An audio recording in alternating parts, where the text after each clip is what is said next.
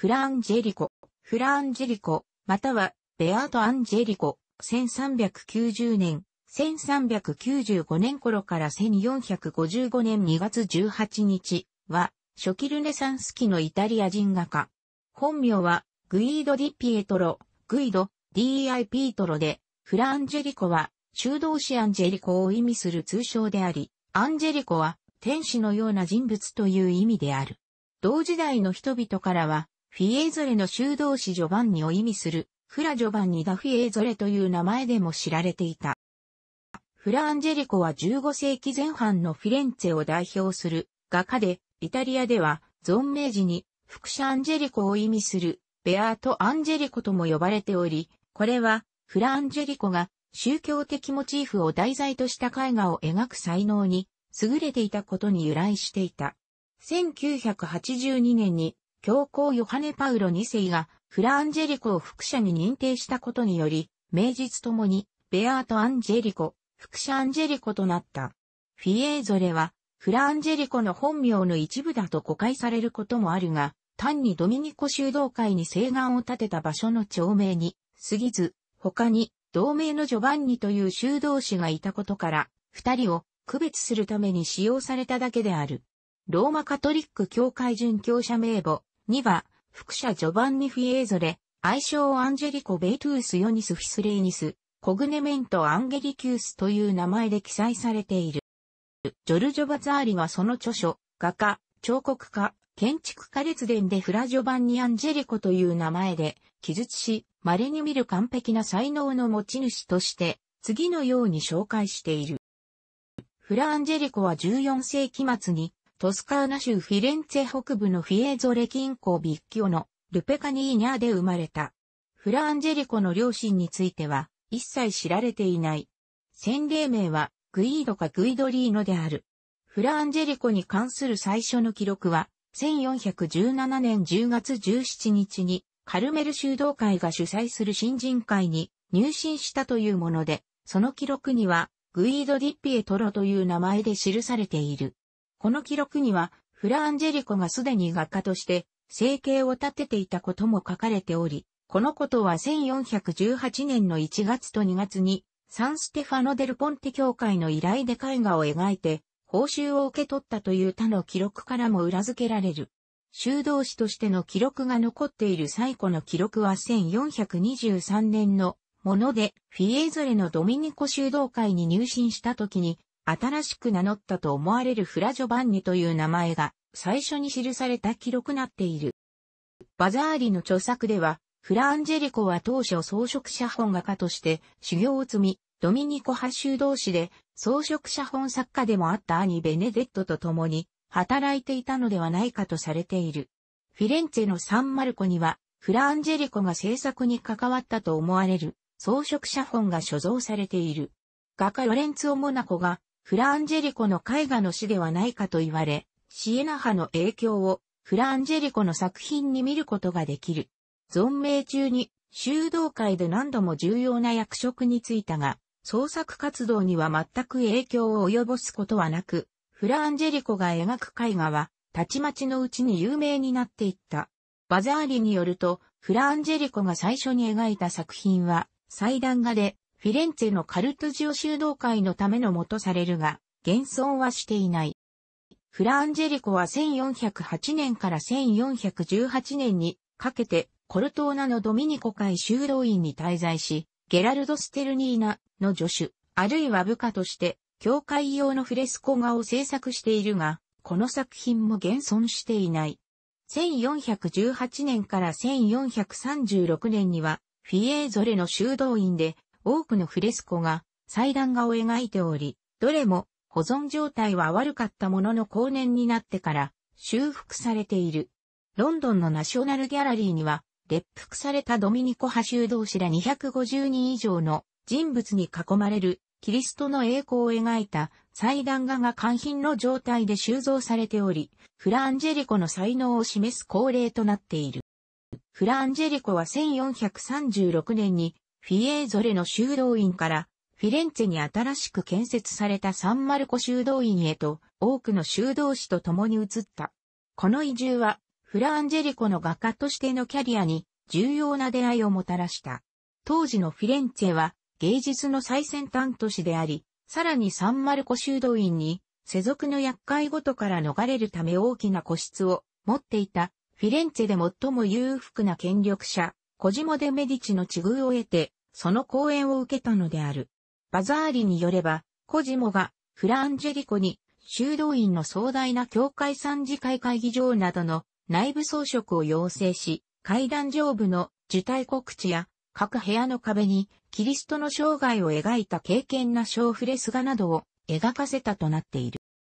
1439年には最も有名な作品の一つである祭壇がマエスタをサンマルコ修道院のために描いているが、この作品は当時の絵画としては極めて異例なものだった。多くの聖人に囲まれた聖母子という構図自体はありふれたもので、明確に展開での光景として描かれ、聖人や天使は俗人よりもはるかに神聖な存在であることを示すために宙に浮かんで表現されのが通常だった。しかしながら、フラ・アンジェリコが描いた、この作品では聖人たちは普通に地上に立っており、聖母の栄光を共に分かち合うことを喜び、まるで談笑しているかのようなごく自然な姿で、聖人たちを描き出している。このような構図は、聖会話と呼ばれる絵画形式として知られるようになり、後にジョバンニ・ベリーニ、ペルジーノ、ラファエロ・サンティらも、数多くの聖会話を手掛けることとなった。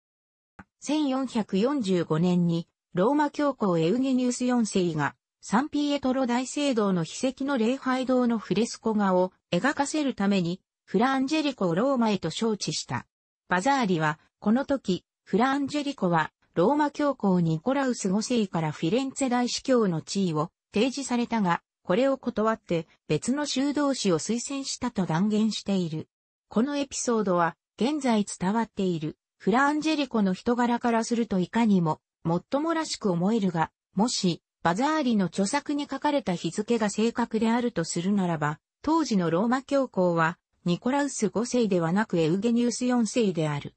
1447年にフラアンジェリコは、弟子のベノッツォ・モッツォリと共に、バチカンを離れて、オルビエートの聖堂で絵画制作を追っている。この時同じく弟子だったザノビストロッチも同行したと考えられている。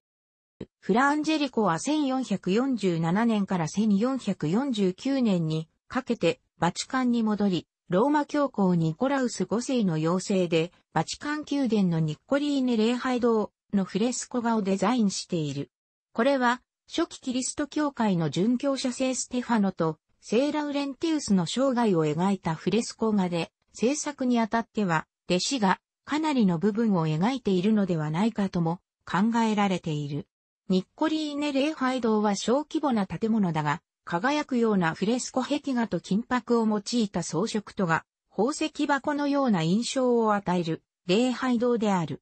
1449年から1452年まで、フランジェリコはフィエーゾレ修道院に戻り修道院長も務めている。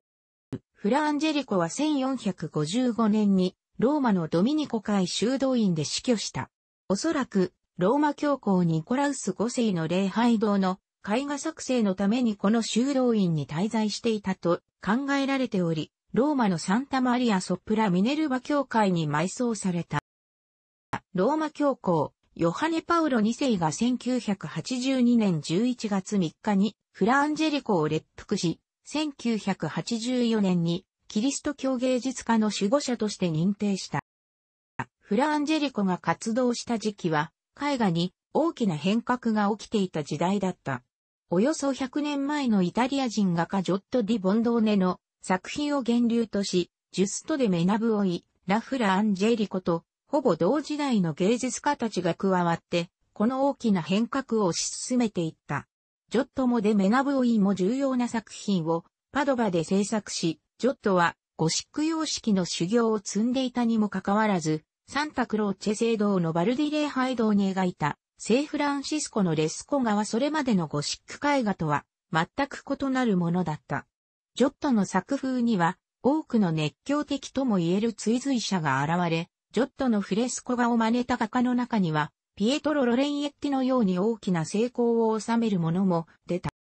修道士画家のパトロン、依頼主は、修道院などの宗教的施設か、教会に多額な寄付ができる裕福な一族がほとんどだった。このような修道士が形の信仰上の理由から、パトロンも保守的な傾向強く、さらに裕福であればあるほどより保守的になることが多かった。依頼で描かれた絵画には必ずパトロンの名前が書かれた明細書が付属しており、多くの高価な金箔が使用された作品はそれを依頼したパトロンの名誉を表すものだった。絵の具箱に入っている貴重で高価な顔料として、ラピスラズリやバーミリオンがある。これら貴重な顔料から作られた絵の具がふんだんに使用されている作品も、金箔同様にパトロンがいかに裕福であるかを証明することにつながった。フラ・アンジェリコは、イタリア人画家ジェンティーレ・ダ・ファブリアーノと、ほぼ同時代の画家である。ファブリアーノが描いた祭壇画、東方三博士の礼拝、1423年、ウフィツ美術館は、国際ゴシック絵画の最高傑作の一つと評価されている。フィレンツェのサンタマリア・デル・カルミネ、大聖堂ブランカッチ礼拝堂では、ジョットの新しい芸術性を正確に理解した若きイタリア人画家、マサッチオがフレスコ画を描いている。当時のフィレンツェには、マサッチオほど人物像を力強く、まるで生きているかのように表現力豊かに描き出して、他の芸術家に影響を与えた画家は、ほとんどいない。マサッチオの年長の共同制作者マソリーノも、フランジェリコと同年代の画家である。マサッチオは1428年に27歳という若さで溶接し、ブランカッチ礼拝堂のフレスコ画は未完のままに残されてしまった。フラアンジェリコの作品には、それまでの保守的なゴシック様式と、先進的なルネサンス様式とが混在している。フィレンツェのサンタマリアノベッラ教会からの依頼で描き、現在フィレンツェのウフィツ美術館が所蔵する聖母体館は、金箔、ラピスラズリ、バーミリオンなど、14世紀で望みうる最高の素材が大量に使用された非常に贅沢な祭壇画である。金箔が使用されている背景や聖人たちの頭上の五行、衣服の縁飾りは非常に精緻に細工されており、これらはすべてゴシック様式の手法である。ジェンティーレダ・ファブリアーノの祭壇画と違って、ルネサンス様式を感じさせるのは、現実的な立体感を持って三次元的に描かれた人物像と、それらの人物が身にまとっている衣装が垂れ下がる、表現やゆったりとしたひだの描写である。描かれている人物は、大地ではなく雲の上に立っているが、重量感のある表現で描かれている。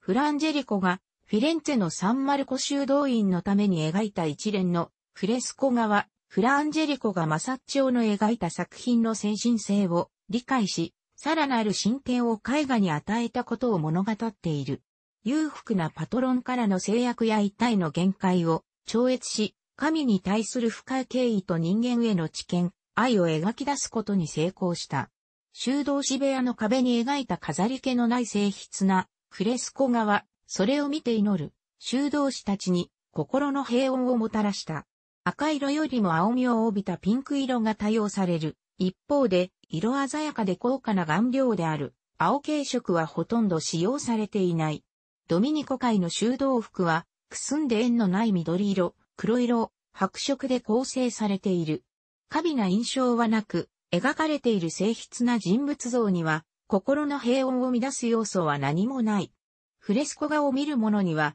あたかもこの絵画が別の平行世界へ通じる窓で、あるかのように、キリストの身に起こった様々な出来事を自分が実際に体験しているような心理的効果を与えている。これらのフレスコ画を描いたフランジェリコがいかに信心深い経験な男性であったかを称している作品群である。マサッチオはサンタマリアノベッラ教会の壁に描いた写実的な生産味一体で海外に遠近法を導入した。後に続くフランジェリコも千遠近法の絵画手法を理解し、イタリア人建築家ミケロッツォ・ディバルトロメオとフィリッポ・ブルネレスキがサンマルコ地区に建設した橋梁を受胎告知などの自身の作品に取り入れている。フラアンジェリコと弟子がローマ教皇ニコラウス5世からの招致で礼拝堂、装飾絵画制作のためにバチカンを訪れたのは、フラアンジェリコが再び教皇の起源を取る必要があったことが理由だ。この小さな礼拝堂に足を踏み入れると、まるで宝石箱の中に迷い込んだような感覚すら覚える。壁面は色鮮やかな彩色と金箔で飾り立てられ、この豪華な装飾に被験するのはこれより100年ほどに、ゴシック期のイタリア人画家シモーネ・マルティーニが装飾を担当したサンフランチェスコ大聖堂下堂くらいである。しかしながらその作風にはそれまでの絵画と同様に、フランジェリコ修正を追い求めていた、慈悲心と信仰とが如実に現れており、人物像が身にまとう金箔が使用された豪華な衣装は優しく穏やかに表現されている。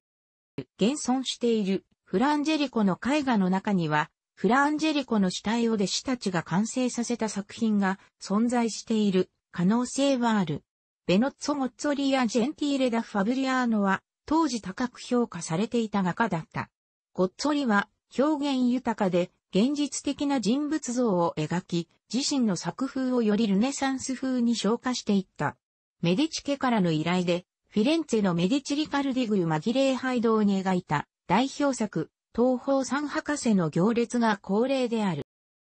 フラアンジェリコのデシベノッツォ・ゴッツォリのフレスコ画に慎重に描かれた肖像画やその絵画技法からドメニコ・ギルランダイオとの関連性を見ることができる。ギルランダイオはフィレンツェの有力者をパトロンとし、大規模な構想の作品を次々に描いた。ギルランダイオはミケランジェロの死でもあった人物であり、これらの芸術家の系譜を通じて、フラアンジェリコの影響は、世紀ルネサンスへとつながっている。1508年にミケランジェロは、システィーナ礼拝堂天井画制作を引き受けた。この時のシスティーナ礼拝堂には、ギルランダイをラファエロのシペルジーノ、ボッティチェッリらが手掛けた、キリストの生涯、モーゼの生涯をテーマにした壁画が描かれていた。これらの作品はいつものバチカンの要望通り大規模で豪奢なもので、構成の複雑さ、人物像の多さ、細部にわたる細密な表現、使用する金箔の量などを画家たちが競い合っているかのような豪華絢爛たる壁画である。これらの壁画の上部にはきらめく衣装と黄金の冠を身につけた歴代ローマ教皇の肖像画が、並び、ミケランジェロもこのような壮麗な場所で絵画制作を行った経験はなかった。そして、ローマ教皇ユリウス2世が十二使徒の衣装を壁画と同様に壮麗に飾り立てるよう求めたところ、ミケランジェロは十二使徒はこの上なく、製品だったではないかと言い返したというエピソードがある。フランジェリコは、サンマルコ修道院の小部屋に、自身の絵画技術と独自の演出によって美しい、フレスコ壁画を現出した。高価な素材である青系の顔料や金箔などを使用しなくても素晴らしい品を描くことができるということを証明したのである。そして、フラアンジェリコと同じくミケランジェロは、飾り気のないフレスコ画技法、明瞭で鮮やかな、柔らかな色彩、重要な役割を果たす数人の人物像、動きや身振りの優れた表現手法などを作品に取り入れることによって、ミケランジェロは自身がフラアンジェリコの直系であることを宣言したのである。イタリアルネサンス美術の専門家、フレデリック・ハートは、フランジェリコのことをレンブラント・ファンレイン、エルグレコ、フランシスコ・デスルバランのような後世の画家たち先駆けとなる神秘的な預言者と表現している。2006年11月にフランジェリコの失われたと考えられていた2点の作品が発見されたという報道が世界中でなされた。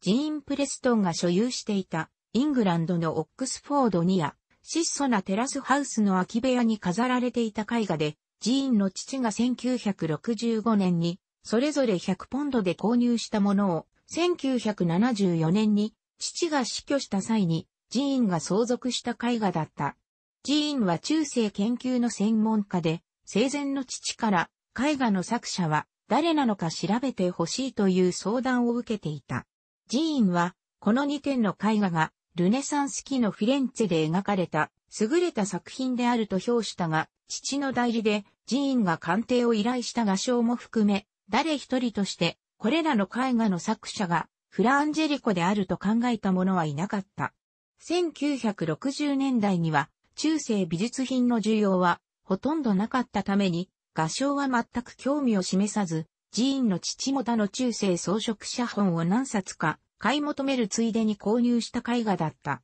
皮肉なことにこの時の装飾写本は、スペインの贋作家が作った偽物だったことが明らかになっている。しかしながら2005年になってから、ブリストル大学のマイケル・リバシジガフラ・アンジリコの作品であると同定した。この2点の絵画は、1439年にフラ・ンジェリコがサンマルコ修道院のために描いた大きな多翼祭壇画のサイドパネル8枚のうちの2枚で200年以上前のナポレオン軍侵攻の際に裁断されて、修道院から散逸していた。この祭壇画の中央部分は、サンマルコ美術館、以前のサンマルコ修道院が、6枚のサイドパネルは、ドイツ、アメリカの美術館がそれぞれ所蔵しており、今回発見された2枚のパネルは昔に失われたと考えられていたものだった。イタリア政府がこの2点の作品を買い上げようとしたが、2007年4月20日に行われたオークションで個人収集家が170万ポンドで落札した。現在これら2点の作品は修復されて、フィレンツェのサンマルコ美術館に展示されている。楽しくご覧になりましたら、購読と良いです。クリックしてください。